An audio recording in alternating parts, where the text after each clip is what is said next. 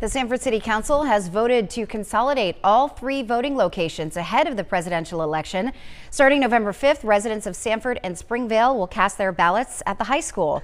City officials claim the consolidation will prevent any confusion about which polling location voters should be going to and ensure they will receive the right ballot. But opponents say this adds to the commute of some voters and will make the waiting lines even longer. The city plans to set up roughly 82 voting booths for the November election.